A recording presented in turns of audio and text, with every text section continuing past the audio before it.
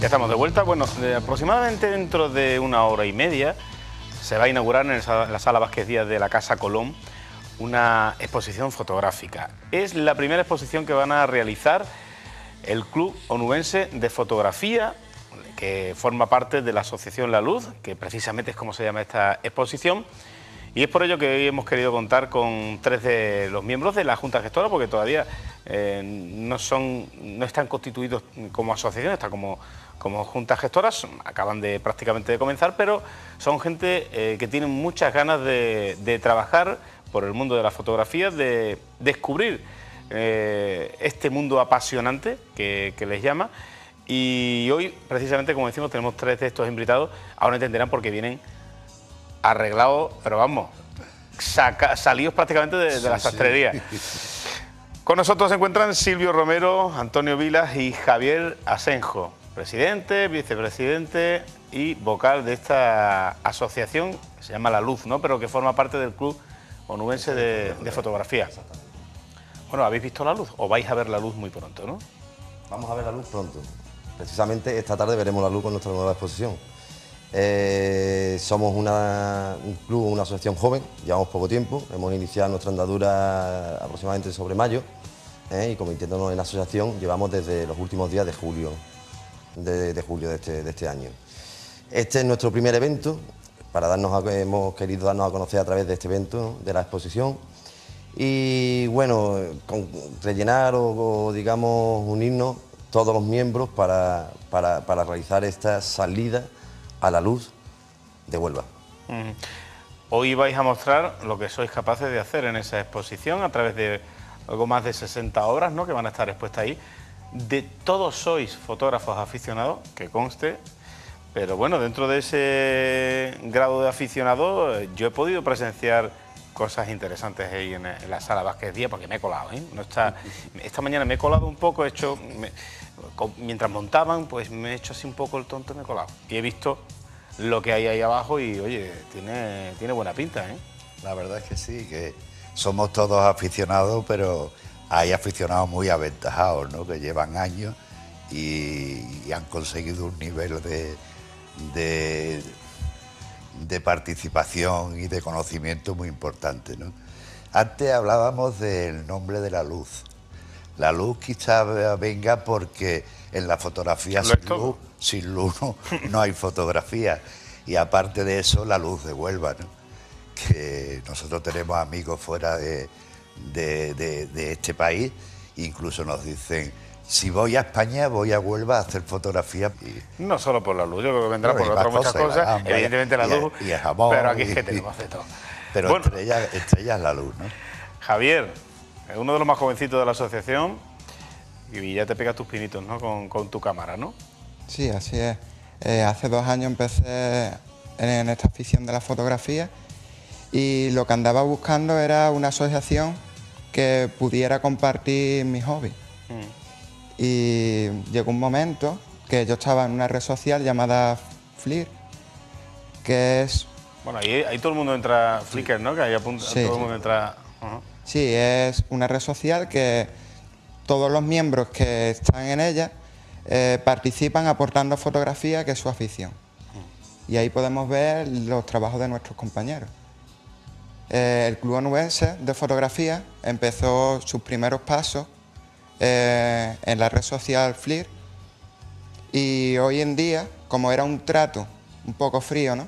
porque no teníamos trato personal, era a través de una plataforma, ¿no? Y hoy decidimos eh, fundar esta asociación.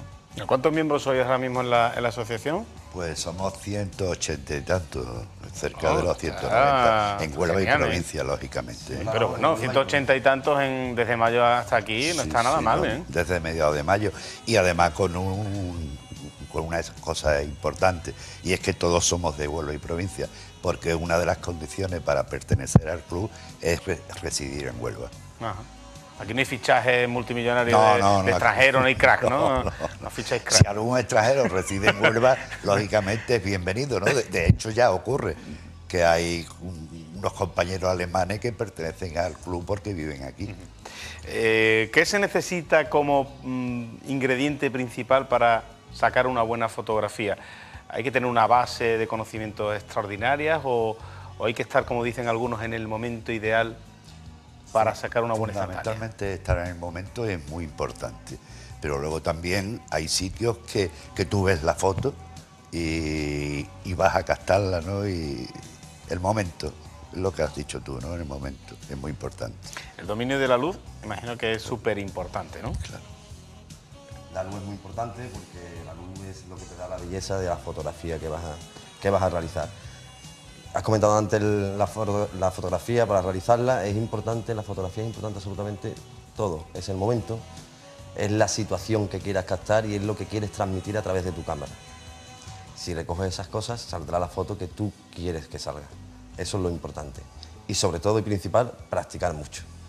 Darle mucho. mucho al botón. Hay que Muchísimo tirar al mucho. botón, Bueno, muchísimo. ahora lo tenemos más fácil con las cámaras digitales, ¿no? Antes había que revelar y revelar y revelar hasta, hasta conseguir el producto deseado, ¿no? Yo, yo hice fotografía analógica, aparte de que era cara, pues bueno, luego requería tiempo. Lo que ahora se hace con el Photoshop, antes se hacía en el laboratorio y no se podía conseguir los resultados de ahora. ¿El Photoshop eh, está restando más que sumando a la- a- al ingenio dentro de la fotografía? ¿Cómo lo veis? ¿Eso es un tema ahí a debate?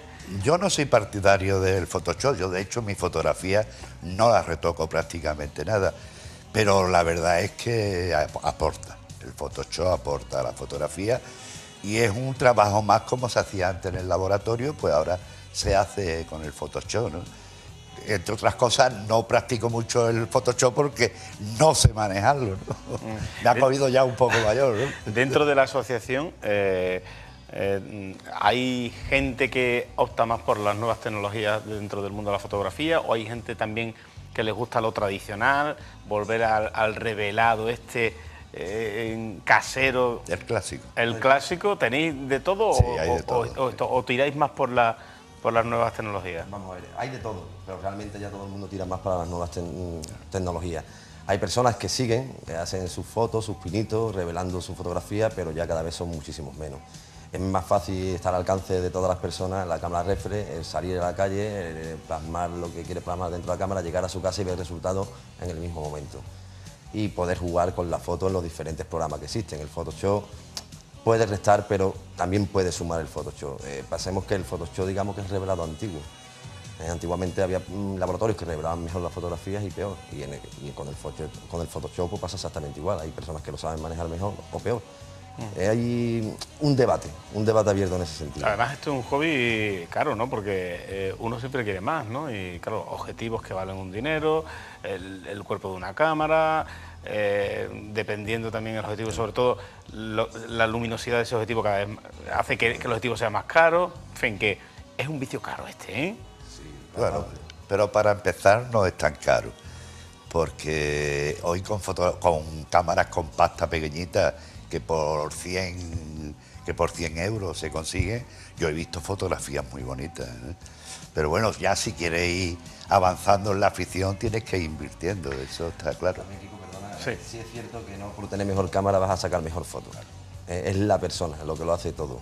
Es saber manejar la cámara y, y saber realizar esa fotografía.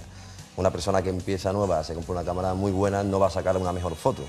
¿Eh? Y a lo mejor una persona que lleva mucho tiempo con una cámara más inferior sacaría buenas fotos. Lo bueno de, de este mundo, de, este hobby, eh, me imagino Javier que tú lo habrás notado en estos dos años, es que cada día aprendes cosas nuevas, ¿no? Que, que- que no te quedas un día sin saber algo, ¿no? Sí, por supuesto, y cada día voy aprendiendo a desarrollar nuevas temáticas, como la fotografía nocturna, una temática que me está gustando mucho y, y la practico.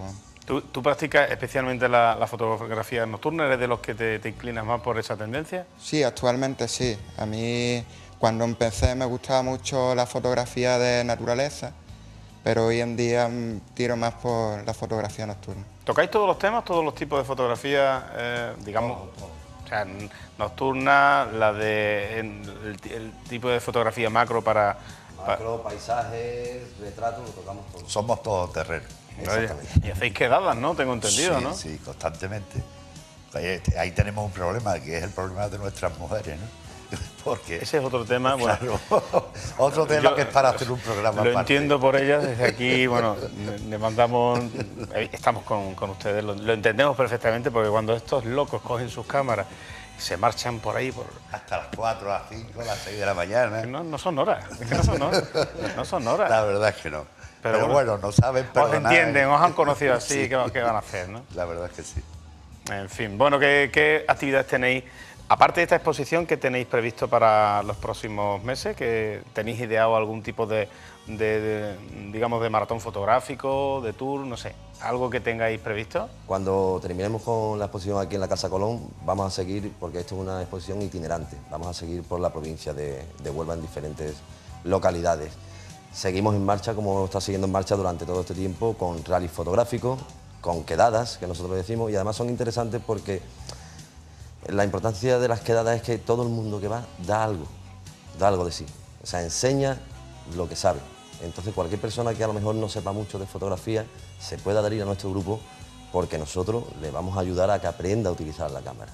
Esa es nuestra finalidad como club que somos, que puede ayudar. Además, normalmente en este sector eh, vemos que la gente se apoyan unas en las otras, que no son muy reservados. ¿eh? Entonces podemos dar, digamos, nuestra experiencia a otras personas que vengan con nosotros. Sobre todo que le pierdan el miedo a, a la cámara y que salgan.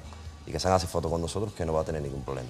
El- ¿De cuántos años de experiencia podemos estar hablando de los más talluditos, digamos, de la, de la asociación? Bueno, si, si te refieres a mí, pues yo llevo ya como treinta y tantos años haciendo fotografía con un paréntesis. Que, que sea, que el encuadre por lo menos ya lo sabes Bueno, hacer, ¿no? por lo menos lo intento. Si me sale bien o no, ya depende, pero lo intento. Y bueno, yo con la analógica hice muchas fotografías. Era caro porque había que mandar a revelar. Y, y- y de un carrete de 36 igual te salían buenas tres o cuatro, ¿no? Hoy, como dice Silvio, es más fácil porque tú llegas a casa, la pones en el ordenador y a lo mejor de las 300 aprovechas 5 o 6, pero no te cuesta el dinero como antes.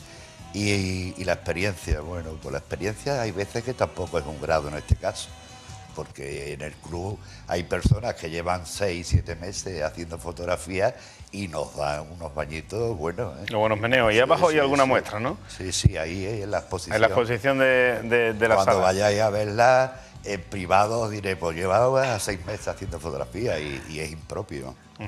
Este material que sacáis en exposiciones, eh, ¿podéis comerciarlo o simplemente quedan como, como expuestas? No, no vendéis De fotos, no. De momento, cada autor es dueño de su, de su fotografía.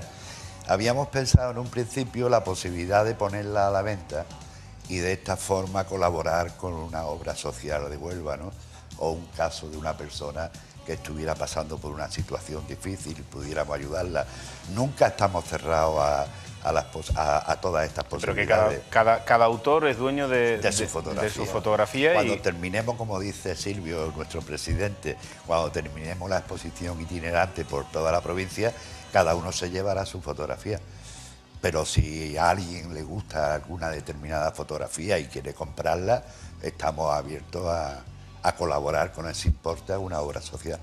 Bueno, pues como no quiero que se arruguen los trajes, ¿eh? os vo- os voy a despedir ya porque tenéis que estar en la ceremonia de inauguración. Sí, ¿Eh? Tenéis que estar ahí preparados dentro de Esperamos a las autoridades. prácticamente una hora que os queda, Sí. aunque eso sí, está todo ya ordenado, todo, Sí, sí, con- todo preparado. Perfecto, y estáis deseando de, de dar ese pistoletazo de salida a esta primera exposición de- del Club Onubense de Fotografía, que como decimos se estrenan hoy, pero que ya ven que hay detrás mucha experiencia y muchas ganas de seguir eh, ofreciendo los conocimientos a todo aquel que lo desee de la fotografía uniéndose a este club, a esta asociación.